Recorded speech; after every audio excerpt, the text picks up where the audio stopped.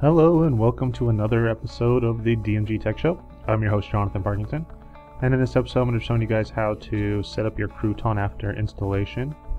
Uh, you're going to notice I have already a navigation bar up top.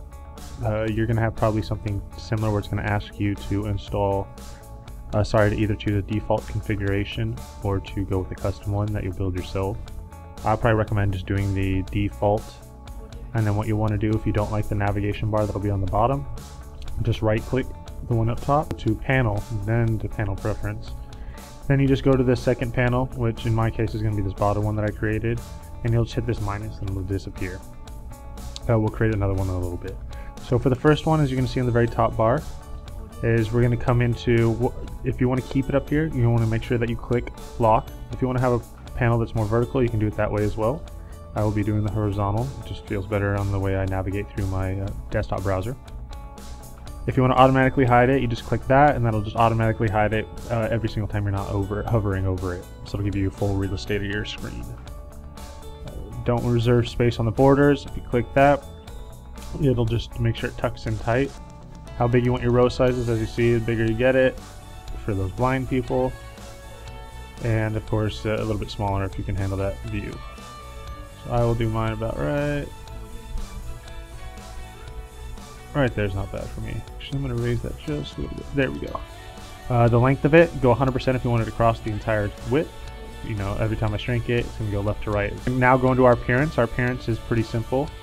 Uh, first things what we're going to do is I'm going to do a little bit more of the customization of the colors as well as making it transparent in the next video. This video over everything with you. That way you can uh, have at least set up and then we'll go through the aesthetics of it.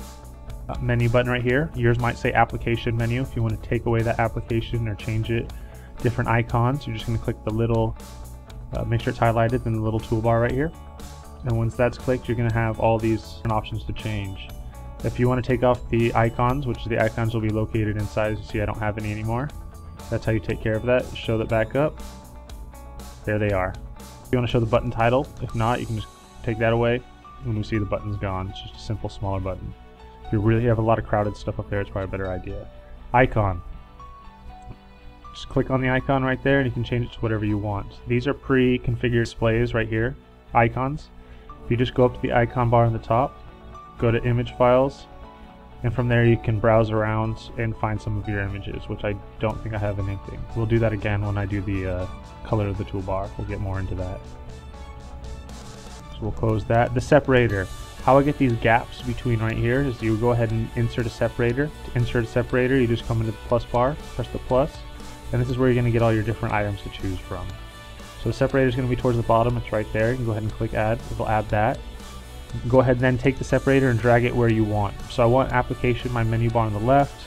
I want my action buttons, which is to log off on the right.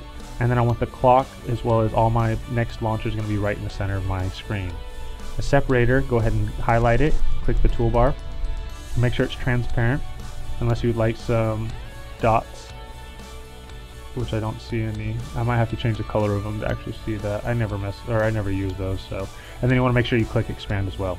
That'll go ahead and give you these little gaps right here. That's why I have two of them, so I'll make sure it evens out on both sides. And that's it for the navigation bar. Now, when you come back over to displays, if you see I come over to my second panel now, and my second panel is going to be this panel at the bottom. If you just want to add another panel, you just click that plus button and it'll add it. Go ahead and drag it wherever you want and go ahead and configure it just like we did panel 1. I have this one set up to where I have my notifications on the bottom right as well as a list of all my open windows on the uh, bottom left. And then I just have it automatically show in hide panel so it looks like that.